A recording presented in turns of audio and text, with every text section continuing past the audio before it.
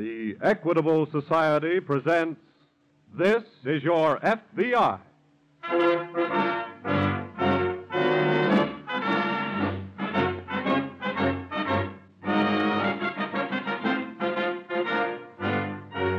This is Your FBI, an official broadcast from the files of the Federal Bureau of Investigation, presented as a public service by the Equitable Life Assurance Society of the United States and the Equitable Society's representative in your community. To your FBI, you look for national security, and to the Equitable Society for financial security. These two great institutions are dedicated to the protection of you, your home, and your country.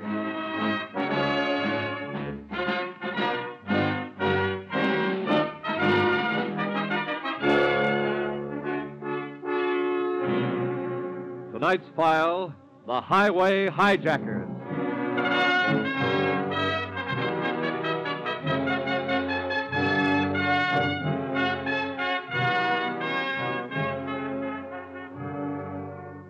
With opportunities for black market operations rapidly vanishing, the professional criminals who won distinction on that field of dishonor during the war are now carrying out their own programs of reconversion, which is one of the reasons for the increase in robberies and hijackings over the country.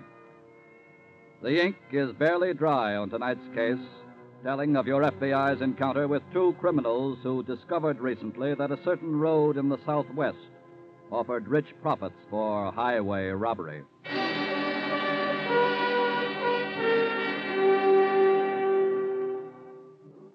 A few miles inside New Mexico from the Arizona border, Marty Jennings and her husband George operate a tourist camp. But Marty does most of the operating because of her husband's ill health. It is shortly after dark now, and Marty enters the bedroom with a tray of supper. Here you are, darling. I want you to eat every bite of it, too. Thanks, Marty. Did you take your medicine, honey? Yeah, sure. Whatever good that does. It Does plenty. Now you start on your soup while it's hot. Marty, don't you ever get tired waiting on me? I said start on that soup, young man. Fine husband I turned out to be, huh? You're going to be stubborn about it, are you? Thought you were marrying a he-man, didn't you? Who could take care of you. George. His health goes on a blink, and he has to bring you way off out here in the desert. You have to do all the work. He lies up in bed most of the time, and... Marty, why did you do it? Why don't you go back east where you were doing okay until George. I... George, I'm here because I want to be here. I love you more than anything in the world. And I'll never leave you. Thanks. Sounds like new business in the office. You eat your supper. I'll be back after a while. All right.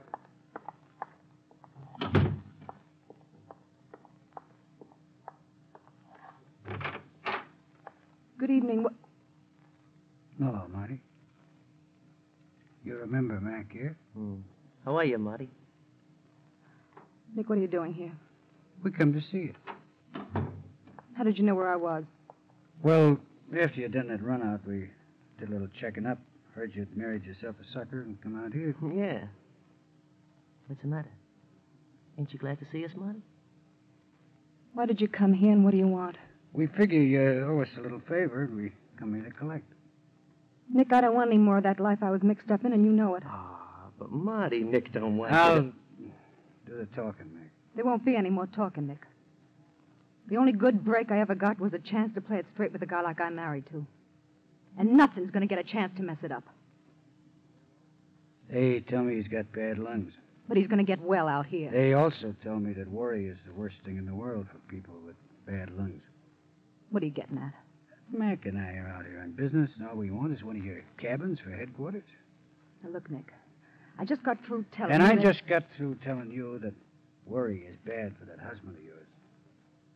Now, either we get the cabin or he gets the whole story on you. Well? Marty, can I help you? George, you get right Just back a minute, lady. Did you say you had a cabin for us? Or not? Yes. We'll take care of you.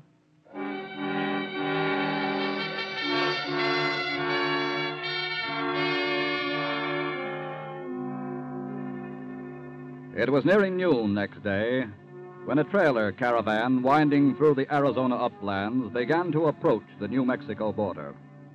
A caravan of some of those families who, a few years ago, had trekked to California in search of relief from their wretched poverty.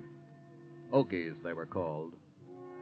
Today, thanks to years of good wages in war plants, they're rolling homeward in droves, for the first time in their lives, adequately fed and clothed, and carrying a few thousand dollars in savings, with which, at last, to buy their dream, a piece of good land all their own. Most of them travel in caravans for mutual protection. But as this particular little caravan rolls along, Sarah Barlow doesn't feel too secure. I tell you, John, I just don't like traveling across country with all this money hid under the seat. Now, now, don't fret about it, Sarah. That's why everybody going home travels together like this, 'cause it's safe that way. Ah, well, maybe I wouldn't feel so skittish about it if, well, if we wasn't the last in line. Oh, somebody's got to be last. Yeah, I suppose so, but just the same, I Now, wish. stop your worrying about it. Just think we're going to be home in about three or four days. Hmm. Home, Sarah. Kind of does something to you when you think about it, don't it? Hmm, yes. Yes, sir, those old green hills are going to look good to us this time, Mother. Because instead of scratching around on top of them and going hungry, we're going to have a piece of rich land down in the valley and a good house. Then we can look up at them and see how pretty they are. Oh, it'll be wonderful, John. Just wonderful. Look at that car speeding around that curve, Sarah. Why, that looks like the same one as passed a while back. Yeah. Look at 'em cutting over in front of us. But, John, they're waving to us to stop. Must be something wrong up ahead. Hmm, They're getting out. Yeah. What's wrong up ahead, mister? I say, what's the trouble? Look, John, they got pistols. Huh? All right, you. This is a stick Oh, no. Give me your dough and make it fast. Oh, John. Quiet, and don't Sarah. try any stalling. Now listen, I mister. said don't stall. I'm not stalling. Sure, we got money, but let me tell you something. Ah, something. shut up and hand it over. no, I won't, and I'm not telling you where it is either. All right, pal. You asked for it. No, no, wait, please don't. I'll, I'll tell you where the money Uh, is. Sarah, mister, we worked years to save that money so we could buy it. oh, no, no, Ah, shut up, lady. You get the same thing.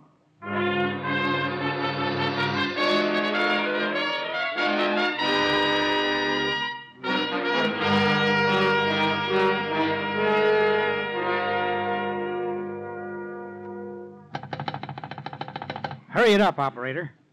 Hello? Hello, FBI? Yes, uh, Special Agent Yeager speaking. This is Sheriff Williams, Lordsburg, New Mexico. What's the trouble, Sheriff? Two men in a black sedan robbed a man and his wife a few hours ago just over the Arizona line and disappeared back across the line with $10,000. Ten thousand. Yeah, they were the tail end car in one of those Okie caravans. Money they'd been saving for years. Well, I've been wondering when this would start. There's been a lot in the papers about those caravans. One of the bandits knocked the man out with a gun, but the doctor here in Lordsburg passed him up all right. Well, where's the man now? The caravan's stopping here the rest of the day and night. The man and his wife are camping with him just outside of town. Good. We'll get over right away.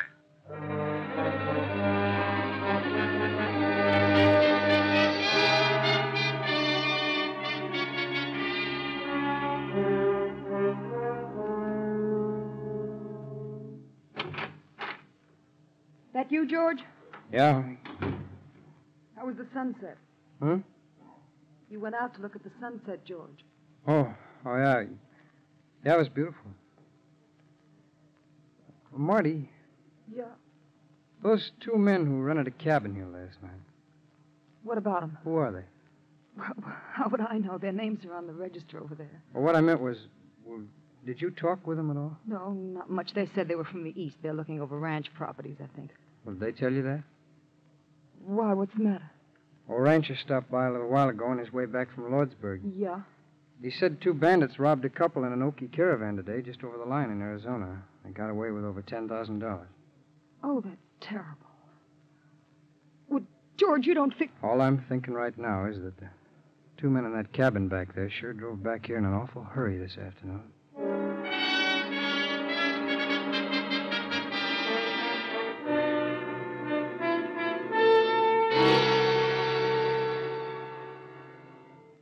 Mr. and Miss Barlow, these are Special Agents Yeager and Hickman of the FBI. Uh, how do you do? Mr. Barlow, the sheriff tells me neither of you was able to give much of a description of the bandits. Well, what little I might have remembered, Mr. Yeager, I'm afraid the blow on my head knocked it out of me. And I was too upset to remember how they looked, what with John hurt and all. Oh, yes, of course, but maybe one of you might recall how they talked. Well, they, they just talked tough, son. Did they have a Western drawl, Well, or if you ask me, they sounded just like gangsters in a movie. That should help. What good's that do you? That means they're outsiders who've moved in here for the express purpose of robbing the caravans. Then they must have a hideout somewhere in these parts. exactly? And they're not running out after just one strike, Sheriff. But they might move on after the second. Yes. Meantime, we'll try to find that hideout.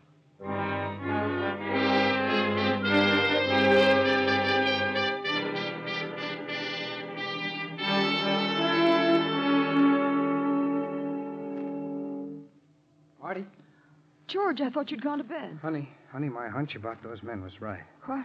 I had to find out, and I did. What have you done? Well, I slipped around outside their cabin a minute ago, and I heard them talking about plans for holding up a caravan. Oh. Yeah, I'm going to call the sheriff at Lord's. No, no, George, wait. What for? You mustn't call the sheriff, George. Well, I- honey, those men are dangerous criminals. Ah, you can't call. Well, why not? There's something you don't understand. I- What? George, it's about them and me. Marty, Marty, what do you mean? I know those men, George. I know them from, well, the days before I met you. Oh. That's why they came here. Mar- Marty, you you mean you're mixed up with them in this thing they're doing? No. Well, then I, I don't get it, Marty. Look, darling, I. I told you there were some things in my past that weren't very pleasant, that I could never talk about. Yeah, I know. Well, those men were part of that past. Marty, this is the present. You're you're shielding those men, and I've got to know why. Okay. I used to go around with a man named Crandall. Don't ask me why. He was mixed up with these two out there. Yeah, A few months before I met you, Crandall was killed. They killed him. I have no proof, but I know they killed him. They tried to pin the crime on me. Well, how? They planted my fingerprints on a gun. The police arrested you? No, no, nobody was arrested. They just held that over me in case they were ever picked up for the crime. And they're holding it over you now. They threatened to tell you. They knew that you were sick and that I, I didn't want to upset you. Oh, baby. Baby. I didn't know what to do. Darling.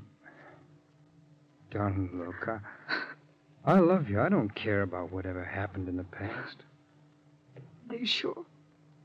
Sure. Now can I call the sheriff? I'll call him. Hang up that phone, Marty. What? Mac thought he saw this husband of yours snooping around, so I thought I'd better find out why. So you did? Yeah.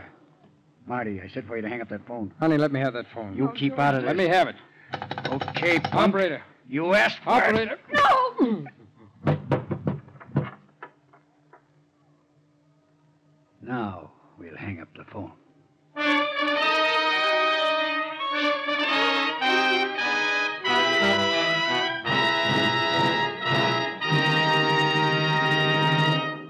You've just heard the first half of the FBI file on the highway hijackers. As you know, the action took place in New Mexico and Arizona, states renowned for starlit nights. But other stars, imaginary stars on maps, hold special interest for members of the Equitable Society.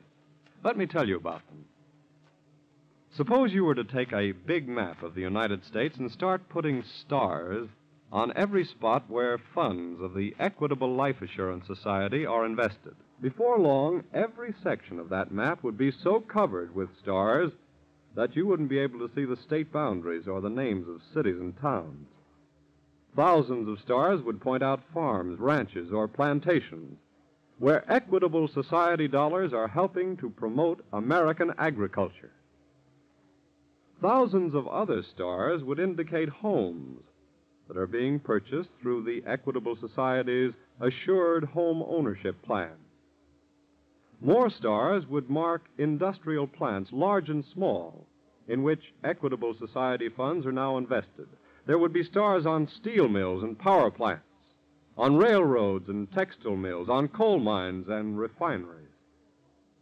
Yes, every single state would be covered with stars showing places that Equitable Society dollars are at work.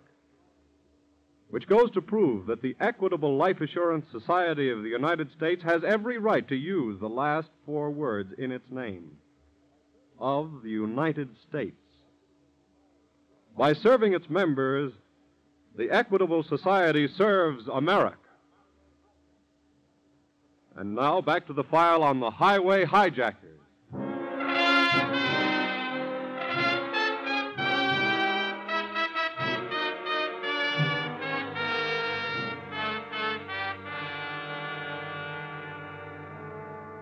When there are no clear cut clues to a criminal's identity, such as fingerprints, physical description, or even microscopic evidence that may be developed in a laboratory, the FBI agent is forced to improvise his own methods of ferreting out his quarry as he goes along. After interviewing the robbery victims at the caravan camp, Special Agents Yeager and Hickman are driving Sheriff Williams back to his office in Lordsburg. Well, what's your next move, Mr. Yeager? We'll start looking for the bandits' hideout. This is pretty big country. Well, since we're convinced that our men are Easterners, that'll narrow the search down some. How do you mean? Well, they wouldn't be likely to go in for roughing it in caves or hills if more homey comforts were available. Oh, I get you. Sheriff, Mm-hmm. what's the tourist camp situation around here? Well, Mr. Hickman, there's three or four between here and the Arizona line, and a few more from there on to Sunset that I know of. That'll do for a start. You really think they mean to strike again? I hardly believe they'd come all the way across the country for just one job. Otherwise, they'd have figured out a way of robbing a whole caravan at once for a big haul, instead of just taking the tail end car. That sounds reasonable. Uh, Mr. Yeager, here's my office right here. Oh, okay. What time you aiming to start checking on the tourists? Right now. Oh, tonight, huh? Well, every minute counts. We want to locate that hideout if we can before they strike again. What can I do to help? Well, right now, just stay where we can reach you. We may need a lot of help in a hurry. I'll be ready.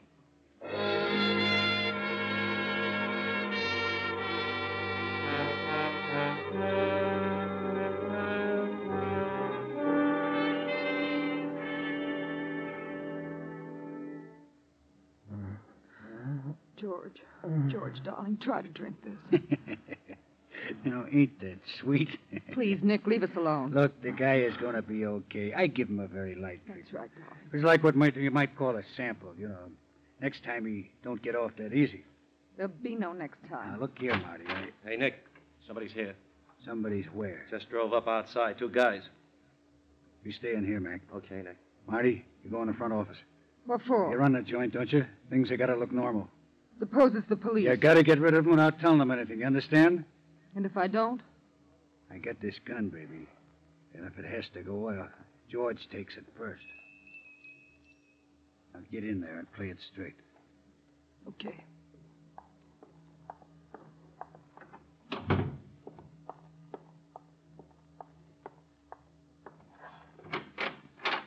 Good evening.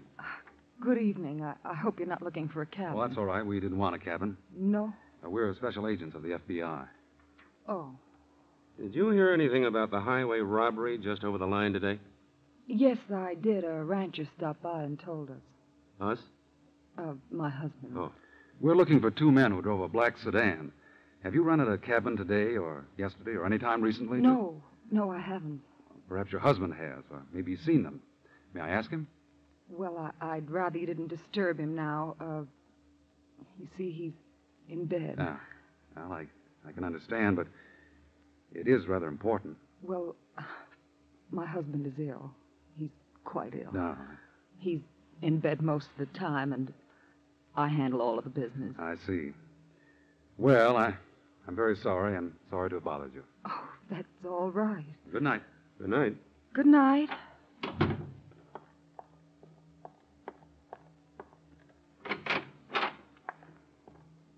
Nice going, Marty. You know who I was doing it for. Don't you worry, Nick. You're going to get yours soon enough. Maybe, but not out here. What do you mean? The way things had turned out, I decided to pull one more job tomorrow and head back east.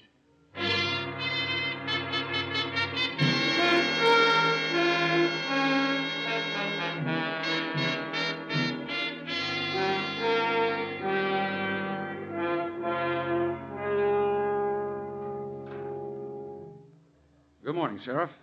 Ah, morning, Mr. Yeager. What luck? None, I'm afraid. Yeah, I stayed on here all night hoping you'd call for help. I'm sorry, but Hickman and I covered every tourist camp and ranch house between here and Sunset, Arizona. I had every sheriff between here and Phoenix on the lookout. They haven't turned up anything yet. I still think they're hiding out around here somewhere. But how are we going to smoke 'em out before they make another strike? Which they're just as apt to do today as not, if they figure things are getting too hot around here for 'em. Wait a minute. Uh, what you thinking? What I should have been thinking before. What's that? I think I've got the answer, Sheriff. But we're going to have to do some fast traveling to make it work. Well, I'm ready to go. Then I'll get Hickman and we'll get started.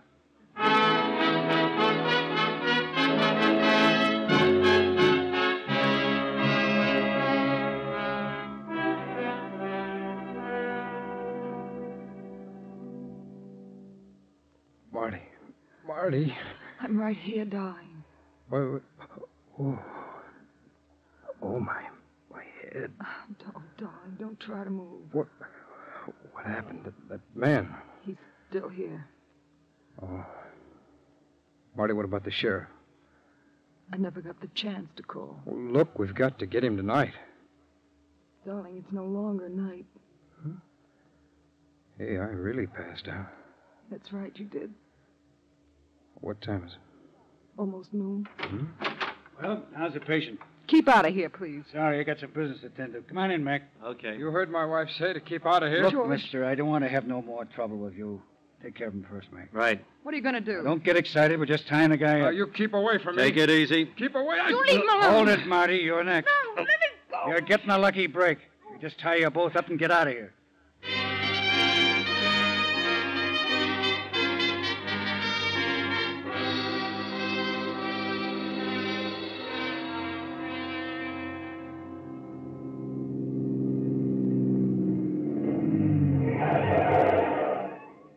Caravan's coming about two miles back down the road, Nick. How many cars? Fourteen. Most of them got trailers. What's bringing up the rear? A car with a trailer, and the driver's the only one in the front seat. How many in the trailer? I couldn't see. All right, move over, Mac. Let me take the wheel. Okay. We swing the car around the curve a little further and head it this way. Then when the caravan starts coming around, we'll count off 13 and move in.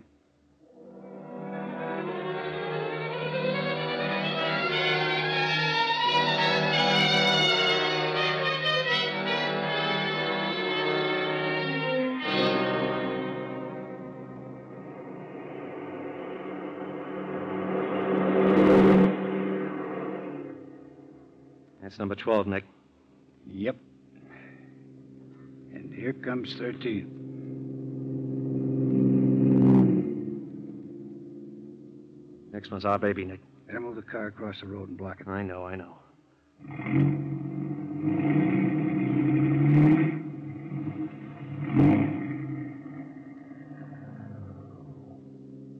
Here comes 14.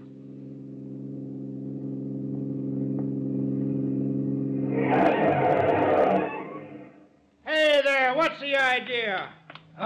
All right, you. This is a stick up. I stick up? Why, you dirty low Shut up. Around back and open that trailer door, Mac. Okay. We'll save you the trouble. What- what- Drop those guns, both of you. What the? Cover that man there, Bob. What's going on here? Well, you might call this a double stick up, mister, only our part of it is legal.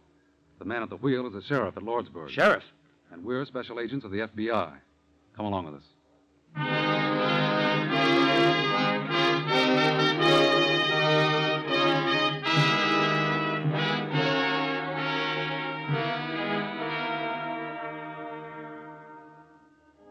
The roundup of the hijacking gang resulted in their ultimate trial and conviction.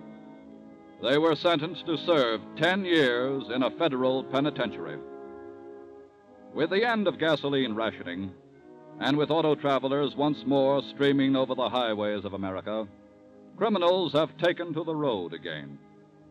But your FBI and your local and state law enforcement officers are determined to wage war against them day and night until the only ones for whom auto travel will be unsafe will be those who seek to make it unsafe for others.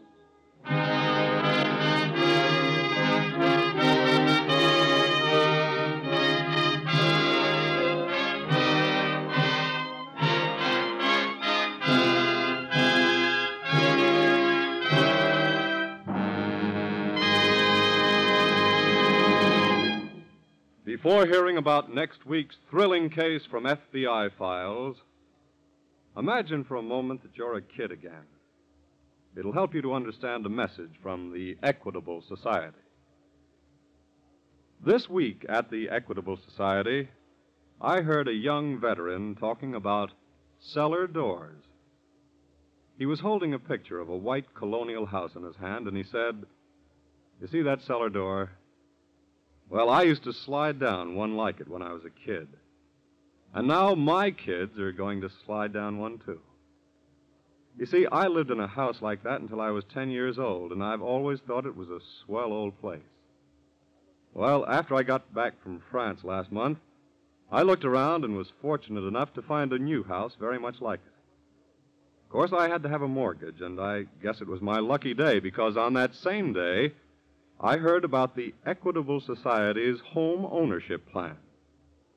Well, I signed up right away for an equitable, assured home ownership loan.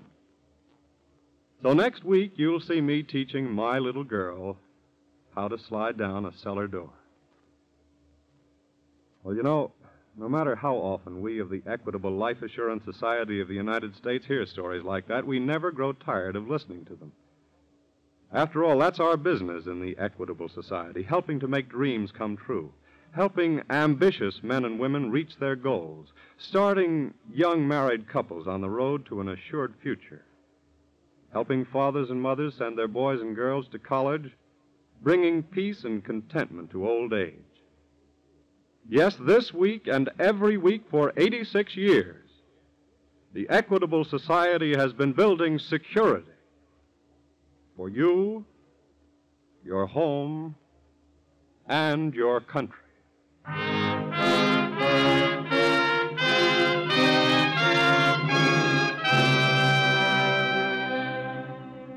Next week, we will bring you another colorful story from the files of the Federal Bureau of Investigation The Sorrowful Swindler.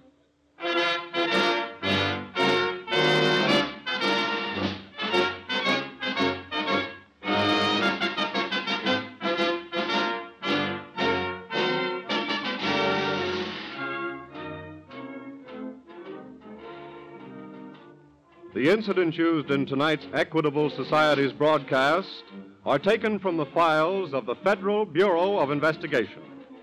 However, all names used are fictitious, and any similarity thereof to the names of persons living or dead is accidental. Programs in this series of particular interest to service men and women are broadcast overseas through the worldwide facilities of the Armed Forces Radio Service. Tonight, the music was under the direction of Frederick Steiner. The author was Frank Ferries, and your narrator was Dean Carlton. This is Your FBI is a Jerry Devine production. Now, this is Carl Frank speaking for the Equitable Life Assurance Society of the United States and the Equitable Society's representative in your community, and saying, inviting you to tune in again next week at this same time for this is your FBI.